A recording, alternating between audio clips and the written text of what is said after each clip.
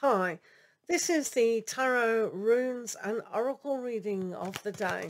So this is universal messages for us all to learn how to transform our life with insights from our subconscious, the guides from the angels and our spirit guides, and also God itself. So let's have a look at what we need to know today. So this is what we need today. Need to know with tarot, oracle, and runes.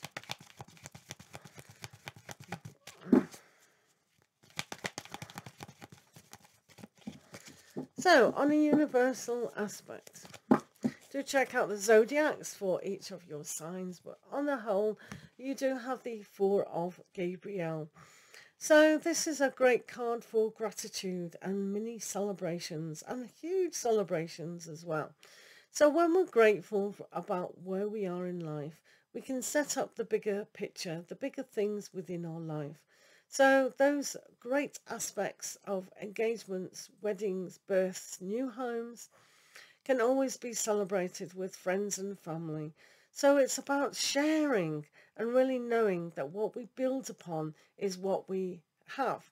So using our imagination and really love within our hearts, we build the greater things for our life. So this is a very stable card. It's It has a foundation for amazing qualities within your life. So really know that you can achieve these things.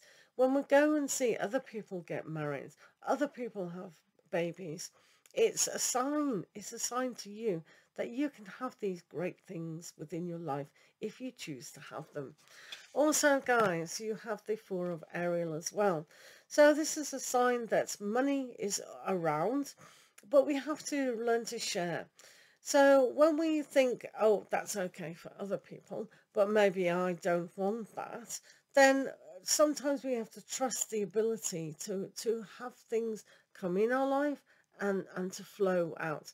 So it's ever increasing circle of, of change and self-belief and really trusting ourselves and the situation around us. So when we have that kind of poverty thinking that I'm not good enough or oh, I've got to save for a rainy day, um, that's not really believing that money will come in, your situations will come in. So really don't be kind of, you know, um, hard on yourself. That this is about really going out there and really knowing that your situation will arise, definitely, because of the Four of Wands. That celebration. Also, you do have solutions. It's always good to have a solution. So this is the alchemy. This is a change. This is nurturing who you are as people. So it's a healing card. So if you don't quite trust the universe or you don't quite trust your situation to have the greater things in life, this is the healing card about really nourishing and really seeing the balance between self-doubt, self-disbelief about what is going on and your own belief. So all these things need to align. So it's alignment and that is the balance about seeing your fantastic situation there so if you are disbelieving that your soulmate's not there, your committed relationship's not there, one has to tweak inside and heal properly, have that self-empowerment and really know that your situation is coming about. Your perfect ideal job, your perfect loyal, trustworthy relationship. These two major aspects within our life we want a lot of the time so th this is putting things into perspective and finding the answers of change. It's changing one thing that's not working into something that's glorious. All right. And also for you, you have the five of Ariel. So when things are difficult for yourselves and it seems a huge, big challenge, then remember it is the long-term goals and not the short-term goals. So remember life can be very challenging and we are here to learn those lessons.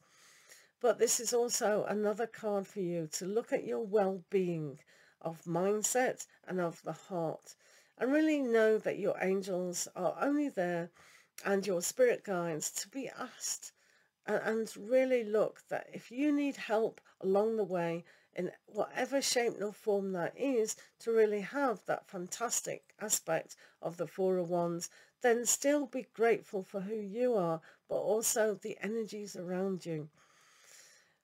Focusing on the positive and the love will always bring more into your life and this is all has always been about the temperance card. So really understand that that is possible within your life. One more tarot card for you and this is the page of Gabriel. This is standing up for yourself and being strong, supportive in a new direction. When we find those new directions within our life of trust, of self, and trust that the universe will provide all those things that you do want, we don't have to fear. So this is about just being a little bit kinder, gentler to yourself and going along this journey of self-belief. All right? wow. So let's have a look at the oracle for you guys, and then we'll do some runes. So this oracle is the shaman's dreams. So this is a nice oracle for you guys today. So let's have a look the message of the day for you. So we have, oh, I love this for you, heart, home and compassion. If we don't have compassion for ourselves, then how can we have um, the good things within life? So th this is about the Four of Wands energy, uh, the start of that energy of, uh, of our home, of our happiness, and it all starts from ourselves.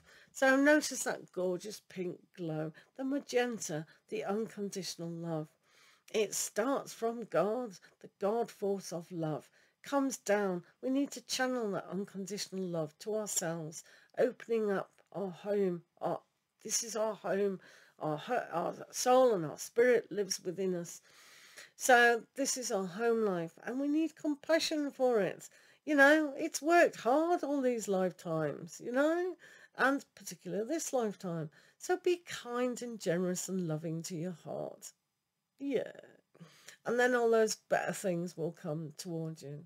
So it is important um, to look after your home. Do you know, if you start to do that, people will notice and they will be inspired by it as well. So that's good. So let's do some runes. Let's shake, shake the runes up and we'll throw a few runes for you to see what's going on. Got quite a few today. We'll be here all day. Right, okay. So the first one is Inguz. So, Othala, sorry. So with Othala, this is what we inherit. So a lot of the times we do inherit um, poverty thinking. Um, sometimes we, we've inherited um, an ability within childhood not to learn how to love. So all these things that we have inherited um, from our family about compassion, empathy, you know, sometimes we hear negative things uh, around us and it's almost like we believe it. So as responsible adults that we now have the ability to go, hold, hang on a minute, um, we, we need to really self-assess um, if these things are true. So this is very much about um, what you had here with the Four of um, uh, Earth, about holding on too tightly to certain things. We need to let them go and really explore better things within our life. Also, also you have, um, I'm just looking, you have this great card which is opening up to the fire elements. So when we have the fire, it's like the passion, the desire to move forward. So it's all about how we work hard. So these challenges that you've had here with the Five of Ariel, this, this is very much about that, of how you can cope, but how you can actually uh, manifest things to actually stop the pattern of abuse self-abuse uh, in our minds, self-abuse in our hearts, and that's why you have the shaman's oracle about compassion of the heart. So these two runes are very important for you to actually uh, you know, grasp. Also, also guys, ah, we got Rider. We had that yesterday. It's still on your journey moving forward. So really learn to trust yourself, trust the angels, trust who you are as a person to be able to move forward uh, on a success. It is a journey, this soul journey. So learn to trust yourself and trust the universe, but have that gratitude that things are all going to work out fine. All right. So thank you for listening today. Have a great day and we'll see you all tomorrow. Do check out the Zodiac reads as well and we'll see you all later. Thank you. Bye.